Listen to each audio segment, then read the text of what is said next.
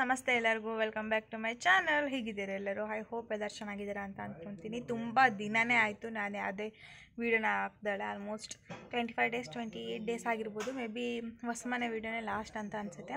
College ಇತ್ತು. College ಇವಾಗ full day ಇರುತ್ತೆ. ಅಂದರೆ ಬೆಳಿಗ್ಗೆಯಿಂದ ಸಂಜೆ ತನಕ. ಹಾಗಾಗಿ ವೀಡಿಯೋ ಮಾಡಿದರೂ ಕೂಡ ನನಗೆ ಎಡಿಟ್ ಮಾಡೋಕ್ಕೆ ಟೈಮ್ ಸಿಗ್ತಿರಲಿಲ್ಲ. ವೀಡಿಯೋನು ಕೂಡ ಮಾಡಿರಲಿಲ್ಲ ಬಿಡಿ. ಆದರೆ ಒಂದೆರಡು ಶಾರ್ಟ್ಸ್ನ ನಾನು ಶೂಟ್ ಮಾಡಿಕೊಂಡಿದ್ದೆ. ನಾವು ಒನ್ ಡೇ ಪಿಕ್ನಿಕ್ ಥರ ಹೋಗಿದ್ವಿ ನಮ್ಮ ಕಸಿನ್ಸ್ ಎಲ್ಲ. ಅದನ್ನು ಹಾಕ್ತೀನಿ. ಆದಷ್ಟು ಬೇಗ. ಇವಾಗ ಸ್ವಲ್ಪ ಇಂಟರ್ನಲ್ಸ್ ಎಲ್ಲ ಮುಗ್ದಾಗಿದೆ. ಹಾಗಾಗಿ ಸ್ವಲ್ಪ ಫ್ರೀ ಆಗಿದ್ದೀನಿ. ಮತ್ತು ಇವತ್ತು ಹಾಲಿಡೇ ಇದೆಯಲ್ಲ ಹಾಗಾಗಿ ಅಮ್ಮ ನಿಪ್ಪಟ್ಟು ಮಾಡೋಣ ಅಂತ ಅಂದ್ಕೊಂಡಿದ್ದೀವಿ ಸೊ ಇವತ್ತು ನಿಮಗೆ ನಿಪ್ಪಟ್ಟು ರೆಸಿಪಿನ ನಾವು ಇವತ್ತು ಶೇರ್ ಮಾಡ್ತಾ ಇದ್ದೀವಿ ಬ ನಿಪ್ಪಟ್ಟು ಯಾವ ಥರ ಮಾಡೋದು ಅಂತ ತೋರಿಸ್ತೀನಿ. ನಿಪ್ಪಟ್ಟು ಮಾಡೋಕ್ಕೆ ಇಲ್ಲೆಲ್ಲ ಇಂಗ್ರೀಡಿಯೆಂಟ್ಸ್ನ ಇಟ್ಕೊಂಡಿದ್ದೀವಿ ಒಂದು ದೊಡ್ಡ ಕಪ್ಪಲ್ಲಿ ಅಕ್ಕಿ ಹಿಟ್ಟನ್ನ ತಗೊಂಡಿದ್ದಾರೆ. ಆಮೇಲೆ ಕೊಬ್ಬರಿನ ಚೆನ್ನಾಗಿ ಸಣ್ಣ ಸಣ್ಣದಾಗಿ ಪೀಸ್ ಮಾಡಿಟ್ಕೊಂಡಿದ್ದೀವಿ ಒಂದು ಕೊಬ್ಬರಿನ ಮತ್ತು ಒಂದು ಬೌಲಷ್ಟು ಕಡಲೆ, ಆಮೇಲೆ ಕಡಲೆ ಬೀಜನ ಹುರ್ಕೊಂಡು ಇಟ್ಕೊಂಡಿದ್ದಾರೆ. ಇದನ್ನು ಸಿಪ್ಪೆ ತೆಗೆದು ಎರಡು ಭಾಗ ಮಾಡಬೇಕು. ಮತ್ತು ರುಚಿಗೆ ತಕ್ಕಷ್ಟು ಉಪ್ಪು ಇದು ತೋರ್ಸೋದಕ್ಕೆ ನಿಮಗೆ ಜಾಸ್ತಿ ತಗೊಂಡಿದ್ದೀವಿ. ಅದು ಸ್ವಲ್ಪ ಎಷ್ಟು ಬೇಕಷ್ಟು. ಆಮೇಲೆ ಅಚ್ಚ ಖಾರದ ಪುಡಿ ಖಾರಕ್ಕೆ, ಆಮೇಲೆ ಜೀರಿಗೆ, ಕರಿಯೋದಕ್ಕೆ ಎಣ್ಣೆ, ಮತ್ತು ಕಲಿಸೋದಕ್ಕೆ ನೀರು. ಇವಾಗ ನಮ್ಮ ಮನೇಲಿ ಕರೆಂಟ್ ಹೋಗಿದೆ. ಕರೆಂಟ್ ಬಂದಾದಮೇಲೆ ತೋರಿಸ್ತೀನಿ ಗ್ಯಾಸ್ ಯಾವ ಥರ ಮಾಡೋದು ಅಂತ. ಕೊಬ್ಬರಿನ ಇವಾಗ ಕೊಬ್ಬರಿ ತುರಿ ಮಾಡ್ಕೊಳ್ಳೋಕ್ಕೆ ಮಿಕ್ಸಿ ಮಾಡ್ಕೊತಾ ಇದ್ದಾರೆ. ಅಂದರೆ ಗ್ರೈಂಡ್ ಮಾಡ್ಕೊತಾ ಇದ್ದಾರೆ. ಸಣ್ಣದಾಗಿ ಹೆಚ್ಕೊಂಡು ತು ಗ್ರೈಂಡ್ ಮಾಡಿಕೊಂಡ್ರೆ ಬೇಗ ಆಗುತ್ತೆ. ಇಲ್ಲ ನೀವು ತುರಿಯೋ ಮಿಷಿನ್ ಇದ್ದರೆ ನೀವು ಅದೇ ಥರನೂ ಕೂಡ ತರಕಾರಿಯಾಗಿ ತುರ್ಕೋಬೋದು. ನಮ್ಮಮ್ಮ ಇವತ್ತು ಎಣ್ಣೆ ಹಚ್ಚಿದ್ದಾರೆ ಅಂತ ಮುಖ ತೋರಿಸ್ಬೇಡ ಅಂತ ಹೇಳ್ತಿದ್ದಾರೆ. ಹಾಗಾಗಿ ನಾನೇ ವಾಯ್ಸ್ ಕೊಡ್ತಾ ಇದ್ದೀನಿ. ಅವ್ರು ಮಾಡ್ತಾ ಇದ್ದಾರೆ. ನೋಡಿ, ಈ ಥರ ಕೊಬ್ಬರಿನ ಗ್ರೈಂಡ್ ಮಾಡ್ಕೊ ಬಂದಿದ್ದಾರೆ. ಈ ಥರ ಪೀಸ್ ಮಾಡ್ಕೊಂಡು ಗ್ರೈಂಡ್ ಮಾಡ್ಕೊಳ್ಳೋದು ಈಸಿ ಬೇಗನೆ ಆಗುತ್ತೆ. ಆದರೆ ತುರಿಯೋದು ಸ್ವಲ್ಪ ಕಷ್ಟ. ಅಂದರೆ ಬೇಗನೂ ಆಗಲ್ಲ. ಹಾಗಾಗಿ ಸಣ್ಣದಾಗಿ ಕೊಬ್ಬರಿನ ಹೆಚ್ಕೊಂಡು ಈ ಥರ ಗ್ರೈಂಡ್ ಮಾಡಿಕೊಂಡ್ರೆ ಆಯಿತು. ಇವಾಗ ಕಡಲೆ ಬೀಜನ ಸ್ವಲ್ಪ ಗ್ರೈಂಡ್ ಮಾಡ್ಕೊತಾ ಇದ್ದಾರೆ. ಬಾಯಿಗೆ ಸಿಗೋಂಗೆ ಗ್ರೈಂಡ್ ಮಾಡಿಕೊಂಡ್ರೆ ಚೆನ್ನಾಗಿರುತ್ತೆ. ನೀವು ಬೇಕಾದ್ರೆ ಇದನ್ನು ಸಿಪ್ಪಿನ ತಗೊಂಡು ಕೈಯಲ್ಲೇ ಕೂಡ ಎರಡೆರಡು ಪೀಸ್ ಮಾಡಿಕೊಂಡು ಚೆನ್ನಾಗಿರುತ್ತೆ. ಬಟ್ ನಮ್ಮಮ್ಮ ಗ್ರೈಂಡ್ ಮಾಡ್ತಾ ಇದ್ದಾರೆ. ನೋಡಿ, ಎರಡೇ ರೌಂಡ್ ಗ್ರೈಂಡ್ ಮಾಡ್ಕೊಂಡು ಬಂದಿರೋದು. ತೀರಾ ಪುಡಿನೂ ಆಗಿರಬಾರ್ದು, ದಪ್ಪ ದಪ್ಪಗೂ ಕೂಡ ಇರಬಾರ್ದು. ಅದು ಬಾಯಿಗೆ ಸಿಗಬೇಕು. ಆ ಥರ ಸ್ವಲ್ಪ ದಪ್ಪ ದಪ್ಪಕ್ಕೆ ಗ್ರೈಂಡ್ ಮಾಡ್ಕೊಂಡು ಬಂದಿದ್ದೀವಿ. ನೆಕ್ಸ್ಟ್ ಇದಕ್ಕೆ ಇದನ್ನು ಕೂಡ ಪುಡಿ ಮಾಡ್ಕೋಬೇಕಾ? ಪುಡಿ ಮಾಡ್ಕೋಬೇಕು ಇದನ್ನು. ಪುಡಿನ ಬಾಯಿಗೆ ಸಿಗಬೇಕಾ? ಬಾಯಿ ಸಿಗಬೇಕು. ಸ್ವಲ್ಪ ಅದಕ್ಕಿಂತ ಸ್ವಲ್ಪ ಸಣ್ಣದಾಗಿದ್ದೀನಿ ಇದು ಬಾಯಿ ಸಿಗೋ ಥರ ಪುಡಿ ಮಾಡ್ಕೋಬೇಕು ನೋಡಿ ಈ ಥರ ಪುಡಿ ಮಾಡ್ಕೊಂಡು ಬಂದಿದ್ದಾರೆ ಸ್ವಲ್ಪ ಪುಡಿ ಥರ ಸಿಕ್ಕೋದು. ಪುಡಿನೇ ಮಾಡಬೇಕಾ ಫುಲ್ಲು?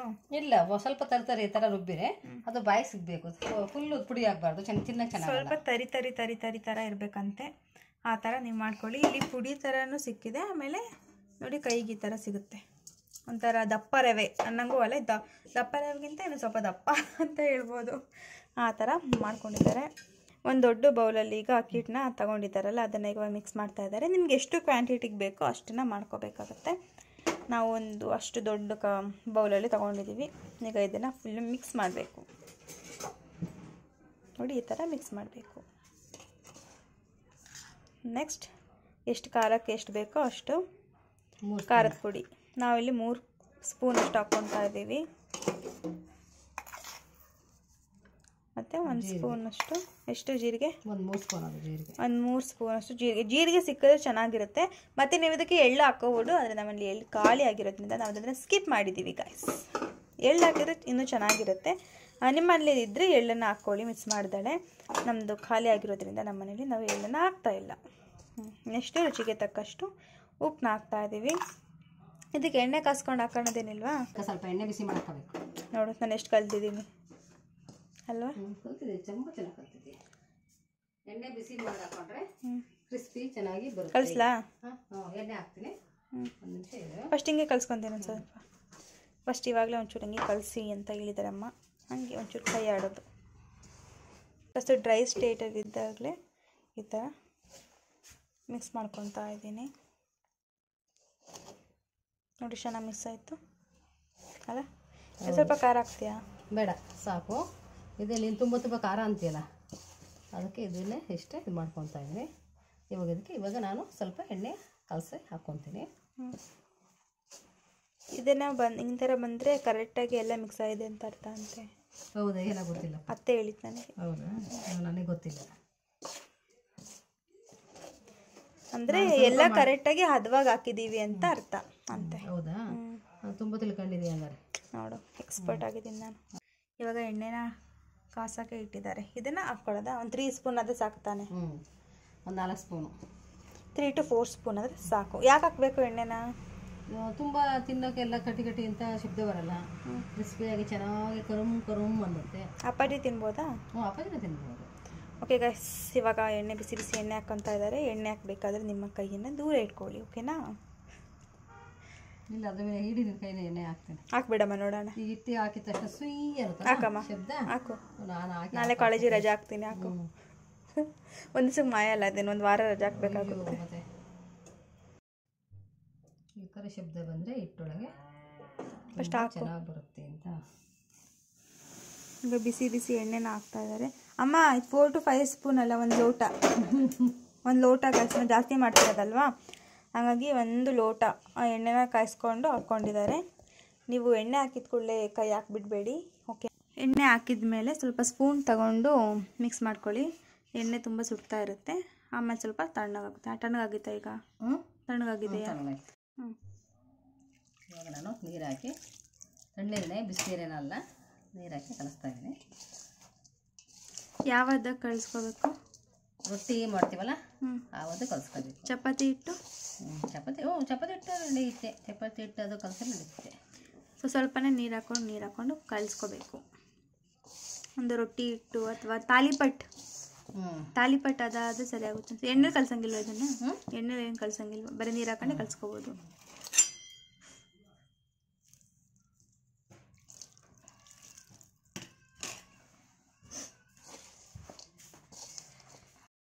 ನೋಡಿ ಈ ಥರ ಕಲಿಸಿದ್ದಾರೆ.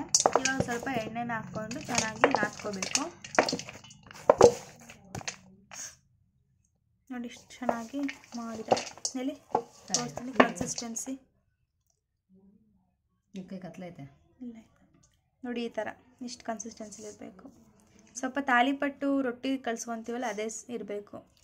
ಚಪಾತಿ ಆದ್ರೂ ಇನ್ನೂ ಸ್ವಲ್ಪ ರಫ್ ಆದಂಗೆ ಆಗುತ್ತೆ. ಕರೆಕ್ಟ್ ಅಂದರೆ ಇದು ಅಕ್ಕಿ ರೊಟ್ಟಿ ಕನ್ಸಿಸ್ಟೆನ್ಸಿ ಅಕ್ಕಿ ರೊಟ್ಟಿ. ಅಕ್ಕಿ ರೊಟ್ಟಿ.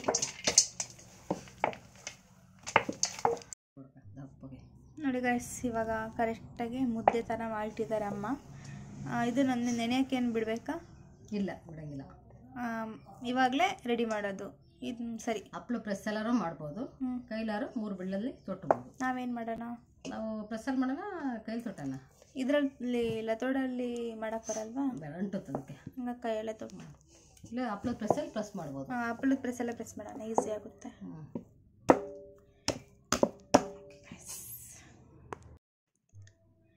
ಇವಾಗ ಈ ಥರ ಸಣ್ಣ ಸಣ್ಣ ಉಂಡೆ ಥರ ಮಾಡ್ಕೊಂತೀವಿ. ನಾವು ಇವಾಗ ಸ್ವಲ್ಪ ಉಂಡೆ ಎಲ್ಲ ಮಾಡಿಟ್ಕೊಂಡು ರೆಡಿ ನಿಮ್ಗೆ ಯಾವ ದೊಡ್ಡದು ಬೇಕು ಅಂದರೆ ಅಗಲ ಬೇಕು ಅಂದ್ರೆ ಸ್ವಲ್ಪ ಅಗಲ ಚಿಕ್ಕದೇ ಬೇಕು ಅಂದ್ರೆ ಚಿಕ್ಕದ. ನಿಮ್ಗೆ ಯಾವ ರೀತಿ ಬೇಕು ಆ ರೀತಿ ನಾವು ಇಷ್ಟು ಸಾಕು ಅಂತ ನಾನು ಇಷ್ಟು ಮಾಡಿದ್ದೀನಿ. ಈ ಥರ ಸಣ್ಣ ಸಣ್ಣದಾಗೆ ಬಾಲ್ಸ್ ಥರ ಮಾಡ್ಕೊಂಡಿದ್ದೀವಿ. ಇದನ್ನು ಇವಾಗ ನಾನು ನೀವು ಮೊದಲೇ ಹೇಳ್ದಂಗೆ ಹಪ್ಪಳದ ಪ್ರೆಸ್ ಎಲ್ಲರೂ ಕೂಡ ಪ್ರೆಸ್ ಮಾಡ್ಕೊಬೋದು. ಮತ್ತು ಎಣ್ಣೆಯನ್ನು ಹಚ್ಚಿ ಪ್ಲಾಸ್ಟಿಕ್ ಕವರಿಗೆ ಅದ್ರ ಮೇಲೆ ರೊಟ್ಟಿ ತೊಡ್ತೀವಲ್ಲ ಆ ಥರ ತೊಟ್ಕೊಬೋದು. ನಾವು ರೊಟ್ಟಿ ತೊಟ್ತೀವಲ್ಲ ಆ ಥರ ತೊಟ್ಕೊತಾ ಇದ್ದೀವಿ. ಆಲ್ಮೋಸ್ಟ್ ಒಂದು ದೊಡ್ಡ ಕಪ್ಪಲ್ಲಿ ತಗೊಂಡಿರೋದ್ರಿಂದ ಆಲ್ಮೋಸ್ಟ್ ಒಂದು ಫಿಫ್ಟಿ ಟು ಸಿಕ್ಸ್ಟಿ ಆರಾಮಾಗಿ ಆಗುತ್ತೆ. ನಾವು ಈ ಸೈಜಲ್ಲೇ ತೊಗೊಂಡಿದ್ದೀವಿ. ಮೀಡಿಯಮ್ ಸೈಗಲ್ ಸೈಜಲ್ಲೇ ತೀರಾ ಸಣ್ಣದಾಗೂ ಮಾಡ್ಕೊಂಡಿಲ್ಲ, ತೀರಾ ದೊಡ್ಡದಾಗೂ ಕೂಡ ತಗೊಂಡಿಲ್ಲ. ಆಲ್ಮೋಸ್ಟ್ ಸಿಕ್ಸ್ಟಿ ಟು ಫಿಫ್ಟಿ ಆಗುತ್ತೆ. ನೋಡಿ, ಒಂದು ಪ್ಲಾಸ್ಟಿಕ್ ಕವರ್ಗೆ ಎಣ್ಣೆ ಹಚ್ಕೊಂಡಿದ್ದೀನಿ. ನೀವು ಇಲ್ಲ, ಬಟರ್ ಪೇಪರು, ಹೋಳಿಗೆ ತೊಟ್ಟೋದು ಇರುತ್ತಲ್ಲ, ಆ ಕವರ್ ಯೂಸ್ ಮಾಡ್ಬೋದು ನಮ್ಮಲ್ಲಿ ಖಾಲಿ ಆಗಿರೋದ್ರಿಂದ. ನಾನು ಪ್ಲಾಸ್ಟಿಕ್ ಕವರ್ಗೆ ಅಮ್ಮ ಎಣ್ಣೆ ಹಚ್ಕೊಂಡು ಕೊಟ್ಟಿದ್ದಾರೆ. ಇದ್ರ ಮೇಲೆ ಆರಾಮಾಗಿ ನಾವು ಇದರಲ್ಲಿ ತೊಟ್ಬೋದು. ನೋಡಿ ಆಲ್ರೆಡಿ ಒಂದು ನಾನು ತೊಟ್ಟಿದ್ದೀನಿ, ತೋರಿಸ್ತೀನಿ. ನೋಡಿ, ತೊಟ್ಟಿಟ್ಟಿದ್ದೀನಿ. ಚೆನ್ನಾಗಿ ಬಂದಿದೆ, ಸಾಕಂತ ಕರೆಕ್ಟಾಗಿ ಬಂದಿದೆ ಅಂತೆ. ನೋಡಿ, ಒಂದು ಉಂಡೆನ ತಗೊಂಡು ಇದ್ರ ಮೇಲೆ ಇಟ್ಟು ಸ್ವಲ್ಪ ಕೈಗೆ ಎಣ್ಣೆ ಸವರ್ಕೊಳ್ಳಿ ನಿಮ್ಮ ಕೈಗೂ ಕೂಡ. ಸವರ್ಕೊಂಡು ಈ ಥರ ತೊಟ್ಟಬೇಕು ನಾನೊಂದು ಸ್ವಲ್ಪ ನಾವು ತೊಡ್ತೀನಿ ಆಮೇಲೆ ನಾನು ಸ್ವಲ್ಪ ಅಮ್ಮ ಪ್ರೆಸ್ ಮಾಡ್ಕೊತಾರಂತೆ.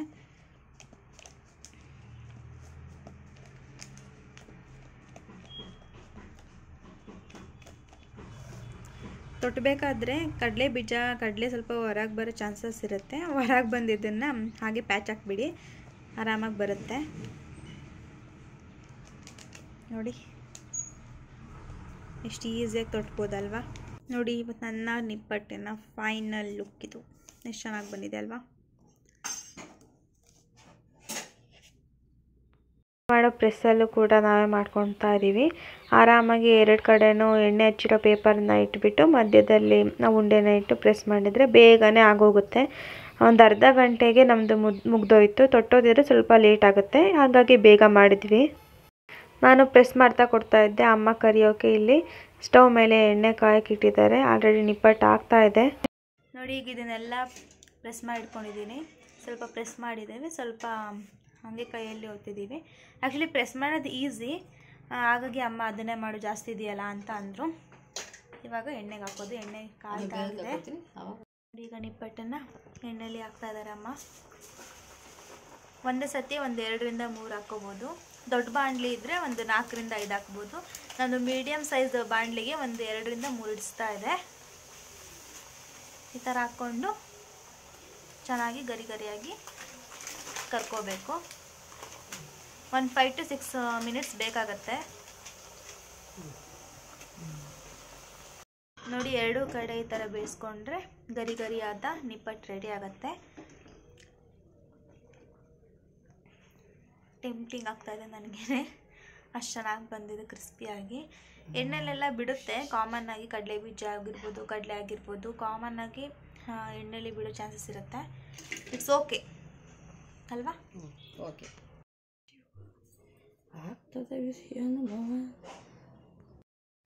ನೋಡಿ guys crispy crispy nippattu ready ಆಗಿದೆ. ನೋಡಿ ಎಷ್ಟು ಕ್ರಿಸ್ಪಿನೆಸ್ ಇದೆ ಅಂತ.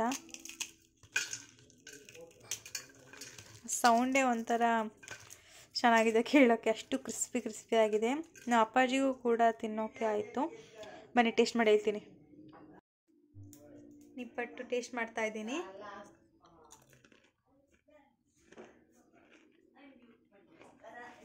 ಉಪ್ಪು, ಖಾರ ಸೂಪರಾಗಿ ಬಂದಿದೆ.